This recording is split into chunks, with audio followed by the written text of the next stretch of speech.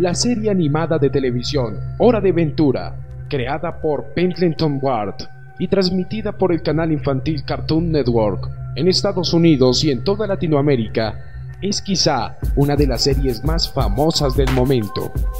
Tiene numerosos seguidores a nivel mundial y no solo niños, sino que también adolescentes y adultos se interesan por esta particular serie animada. La serie tiene como protagonista a un niño que se llama Finn. También Jake, un perro con superpoderes que cambia de forma como crecer y encogerse.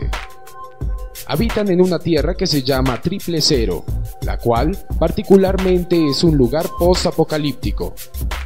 La historia también cuenta con varios personajes secundarios como la dulce princesa, Marceline Abadir, que es la reina de los vampiros, y The Ice King, o el Rey Hielo en Latinoamérica.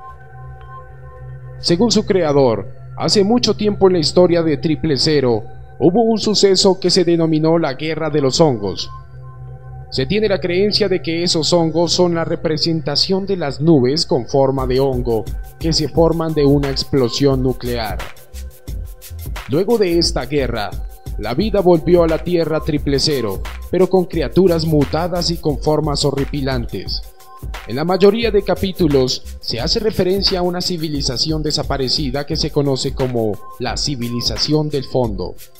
En el intro de la famosa serie, se pueden ver edificios destrozados, carros abandonados, escombros y bombas atómicas sin estallar. También se especula mucho sobre el origen de los dos protagonistas secundarios de la historia, pues se rumora que Marceline y el Rey Hielo son los únicos sobrevivientes de la Guerra de los Hongos, ya que algunos humanos lograron sobrevivir un tiempo, pero murieron de hambre o mutaron.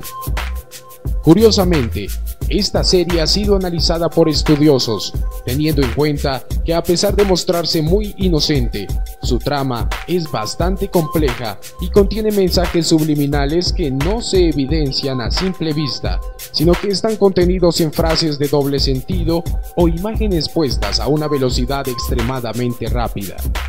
Y es que el éxito que tiene esta serie puede ser el resultado de un complejo plan de manipulación mundial, afirman los analistas de las conspiraciones.